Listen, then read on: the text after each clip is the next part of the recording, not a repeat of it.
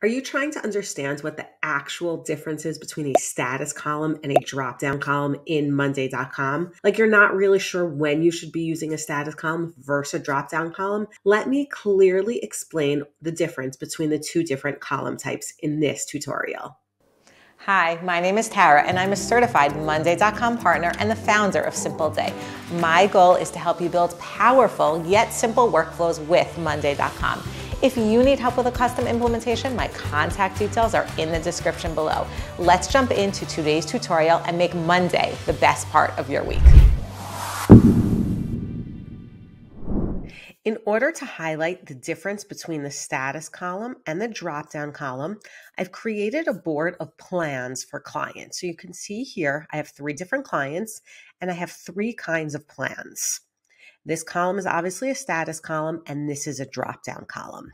Now, I think the first thing that you'll notice, which to me is the most obvious, is the color. A status column has colors. It's colorful. It's easy to see. It's for people like me that are very, very visual. It's really visual because it's colorful. The drop down is not colorful. Okay, it's, it's this light blue, but it's really not a colorful column. That's the first major difference between these two columns. The next major difference is that a status column is a single select column. Like let's say client number three wants to change to the standard plan. My only option is to change them to one other plan. They can't be on two different plans at the same time. If I'm using a drop down column for this, I can simply add another plan. So now you can see client number three in the status column has one plan, but in the drop down has two plans. So the difference number two is a single select of status columns versus a multi-select of drop downs. This also holds true when you're creating a form. If you have a status column, you will have a single select. If you have a drop down, you'll have a multi select. The third big difference between these two columns is the number of items that you can use within the columns. So you can see here that I have three options. And if I want to change the color, I'm limited to 40 options. So let's just add more than 40 plans. This status column would not work.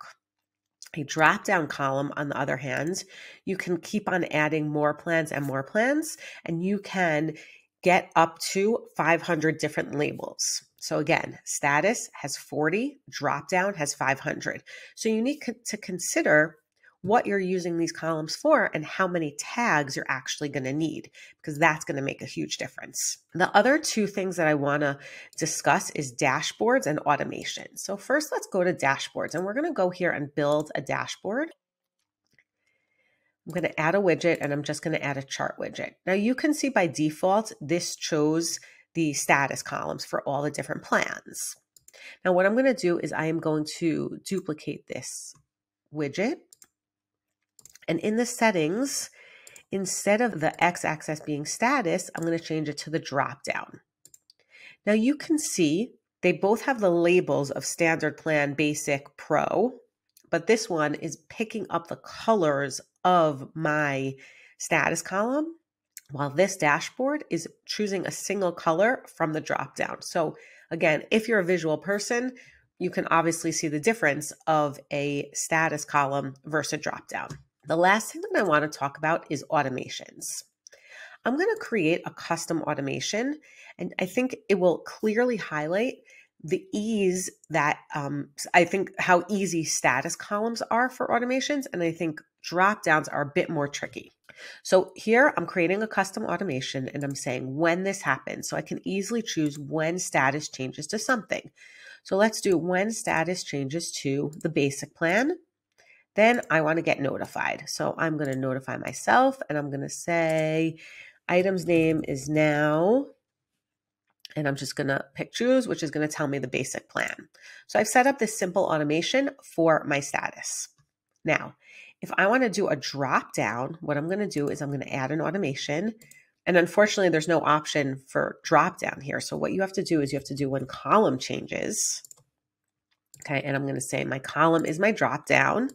And then I'm going to qualify it by saying only if a drop down meets a condition. So I'm going to say only if my column here I have the option contains all, contains one of, contains only. So I'll say contains only basic plan, let's just say. And then I would do notify. So again, I'm going to choose the same notify. I'm going to say is now on the basic plan.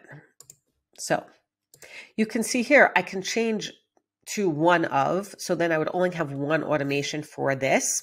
But there are times that you want to differentiate between the different options. Like if a standard plan, then you want to do one thing. And if it's a basic plan, you want to do it, sorry, that you want to do something else. So what would happen is you may need to build out more automations to build out the complexity with the drop down. It's just not as simple of an automation as it is with the status column. I hope that clearly explains the differences between the status and the drop down column.